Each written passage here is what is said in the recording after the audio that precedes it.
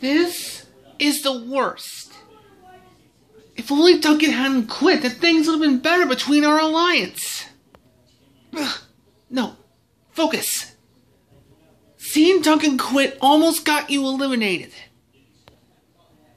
But yet, Harleen made Duncan quit, and I really want him back, so. Ugh, no, focus. I'm really stressing out here. T minus 55 minutes and counting. Wait, doing this or what?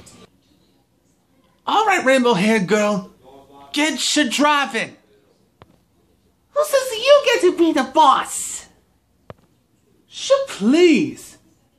Twilight was the one who said that we pick teams. Because of evil magic? Just should drive.